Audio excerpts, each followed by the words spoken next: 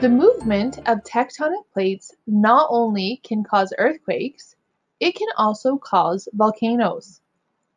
Converging boundaries, where tectonic plates are moving towards each other, are often where volcanoes are located, but they can also happen at diverging boundaries.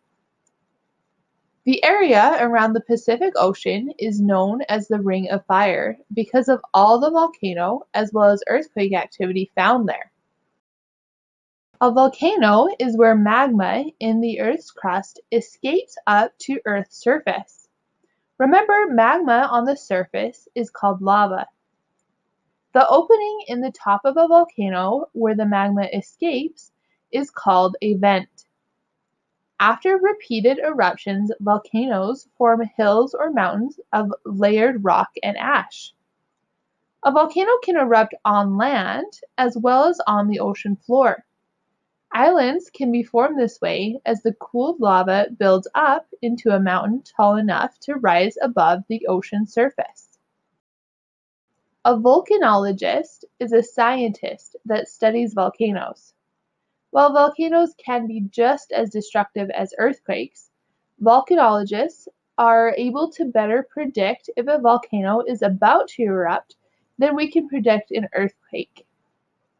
Volcanologists are able to predict some eruptions from studying the past eruption patterns, measuring the concentration of gases emitted, and monitoring earthquakes near the volcano that can happen before an eruption because of the magma moving under the earth.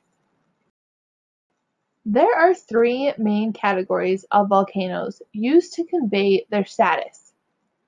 Active volcanoes are those in the process of erupting, or those that have recently erupted and are likely to erupt again. Dormant volcanoes have not erupted for a long time, there is still a chance, though, that dormant volcanoes could erupt. If a volcano is probably not going to erupt and hasn't for 10,000 years or so, it is called an extinct volcano. While volcanoes can form mountains, as we mentioned, not all mountains are formed by volcanoes. In the next Science 7 video, we'll look closer at mountains.